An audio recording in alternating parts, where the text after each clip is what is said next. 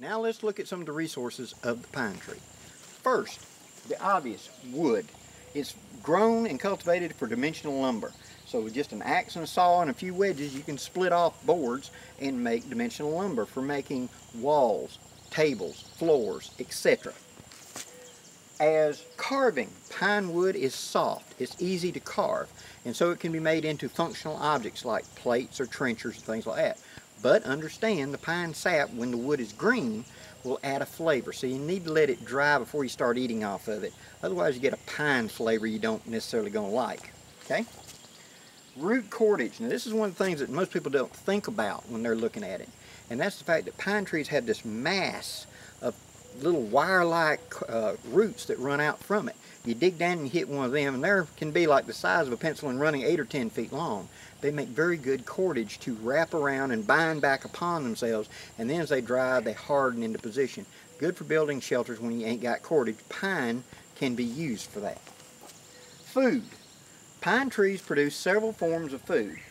Pine nuts, which come out of the pine cones, are gathered and eat, can be eaten raw. They can also be roasted and adding as a flavoring to the things. I've even had people tell me that they've made a coffee substitute between that and dandelion root. They say it tastes more like coffee together. Haven't tried that. Pine bark bacon. I haven't tried this either, but I've seen videos on it and I've seen people that have swear they've done it and tasted it. And what it is, is the inner bark of the pine tree is turned into a flat piece that's been processed and roasted, for lack of a better term, than eaten like bacon. Inner bark. The inner bark can be shaved into long, thin strips, and these strips can then be taken and boiled and eaten like a noodle or something like that. Again, it is edible. Maybe not terribly palatable, but it is edible and can keep you going when there's nothing else. Pine needle tea, the no-brainer. This was a staple of the old woodsman for millennia. It was a way of getting some vitamin C, getting some minerals, get a little pick-me-up.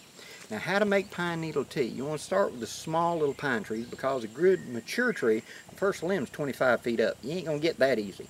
But a young tree, you take the very new buds that are just coming up, the new leaves, and pick them off till you got a good sized handful. Put you on a little pot of boiling water. As soon as the water comes to a good boil and it's therefore sterilized, set it off the heat. Wait till all the bubbles disappear and then add the pine needles back into the water. You want it on the cooling cycle, not on the coming up cycle. If you do it and boil it, you kind of destroy some of the stuff and you lose some of the good benefits. Let this steep for about 10 minutes and fish out the needles or filter them out sometime. It's actually pretty good. Fire is a fire source. Well, of course, pine wood is a fuel source. It's easily and readily available, easily broken by hand and put into a fire. It does, however, impart a flavor to meats and things if you're roasting over it. So you need to be aware of this. So if I'm boiling something in a pot or whatever, it doesn't matter. But if I'm roasting a sauce, excuse me, roasting a sausage or something out there, it does. The smoke from pine, especially if it's any kind of green, can impart a flavor that you may not like. So just be aware of that when you're using it for cooking. Uh, fat wood, no brainer. Pine trees, as they die and dry up, become fat wood. This is one big hunk of fat wood right here. This thing can be 20, 30 years old. It won't decay, it won't rot. It can be sopping wet. And you can pull it up, make shavings up, and it'll catch a spark, catch a flame, and burn. My number one go-to in wet conditions. Pine sap, the actual sap of the tree, either fresh or dried, is a fire extender. Think of it like gel gasoline take it and smear it on something. It will catch a flame. It will catch a spark. The dried stuff does just as good. Powder it a little bit and hit it with a spark or hit it with a flame and it'll catch fire. And it will burn nice, hot, and bubbly and catch other things on fire. So it is like napalm. Walk up to any pine tree and stab it and get some sap and use it as an accelerant to put on something so that when you hit it with a flame, it will catch. Especially when things are wet, pine sap is going to burn. Pine knots. Pine knots are where the, the limb joins to the tree. And the old woodsman, when they'd find a down pine, quite often would break those off and carry them to camp. And at night, after they're done cooking everything, they would put pine knots in the fire. That's because it's got fat wood in it and produces a big, tall, bright flame that lit up a large area and therefore was a source of light with relatively little fuel. You got a relatively big flame out of it. As a bug repellent, You want to look for a dead, down, rotten pine tree, and you've got the center core that's fat wood, but it's the spongy, rotten, soft wood. That's what you want.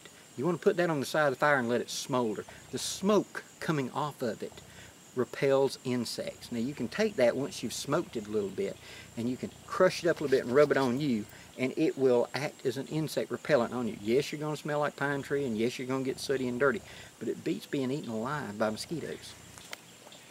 Now, as medicine, pine sap is a wound closer. Now, there are much more modern and better ways to do this, but if you ain't got nothing else and you've got to close this up, when I was a boy and we'd be in the field doing something, if I got cut or hurt or whatever, my granddad would walk over to a pine tree and he'd stab it with his knife.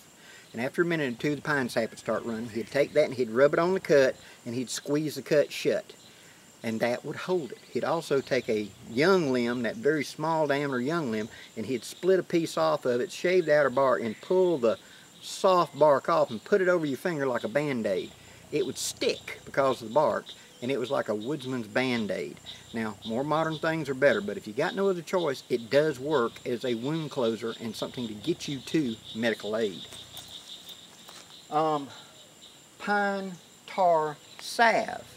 This is a mixture of pine tar, uh, lard, and tallow, and it's used as a medicinal to put onto irritations and things like that in skin. Think like Vaseline pine tar soap, same idea, different ratio, is used for cleaning and washing and disinfecting. Same thing.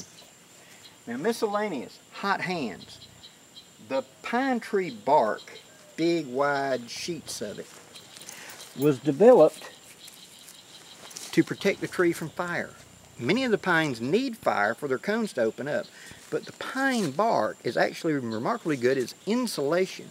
So if you cut off two fairly good sized pieces of bark, you can use them like hot hands to grab a hot pot and pick up and move.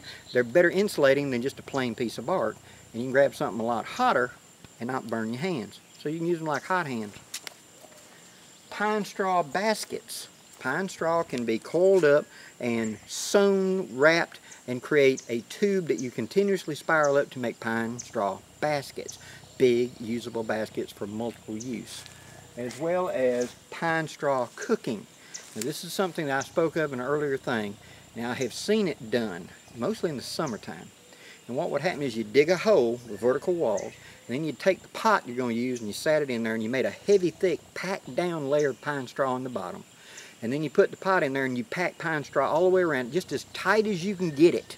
And you want it about three inches below ground surface until you get it packed blood tight. Make sure the pot's clean. Now in a separate pot, you're going to bring the food up to a boil and you're going to get it to boil 10, 20 minutes and then you're going to pour it into that pot in the ground. You're going to put the lid on, you're going to put a big piece of aluminum foil on it and you're going to rake hot dirt from the fire. We build our fires up on a mound so now we move the fire off and we rake that hot dirt over the top make a mound and we'd go to the field and do whatever else we needed to do. It'll act like a slow cooker. You got to remember here in my south, like right now the temperature's in the like 96, 97 that would still be well over 100 degrees when you got back six, seven hours later. And that food would be cooked in there. The pine straw acts like insulation around it, holding the heat. Hay box cooking, do some research on that and you can see that. So, again, pine trees, a resource that's everywhere in America of varying degrees. You need to do the dirt time and see if this list applies to your trees. It may vary due to species. One may be a little more toxic than the other or a little more uh, susceptible or palatable than the other. But that's going to require you doing your research. Now, I want a resource I'm tripping over in all seasons, and the pine tree is one of those. My forests are solid full of them. So no matter what, I can find one. And when I find one, I have a list of resources that I know that they can be used for. And this is just a taste. I'm sure that you out there is going to list another hundred uses I haven't even thought of for the pine tree. But that's how you build your woods knowledge. You start by saying, I'm going to study this and see how many pieces of this puzzle you can bring in until you got a big puzzle that's the pine tree or the willow tree or the walnut tree or the hickory tree or a plantain or whatever plant. Study one until you have a real solid working knowledge. Then move on to the next one. I want resources I am tripping over. I don't want, I like to know about that exotic plant, but the one that I have to spend a week trying to find is not going to help me out in a crisis situation. I want a pine tree. Hope this helps, guys. Please leave any questions or comments below. And as always, thank you very much for subscribing to my channel. And please leave any questions or comments below. Till next time, I'm Blackie for Shaman's Forge, wishing you safe journeys. Have a great day, guys.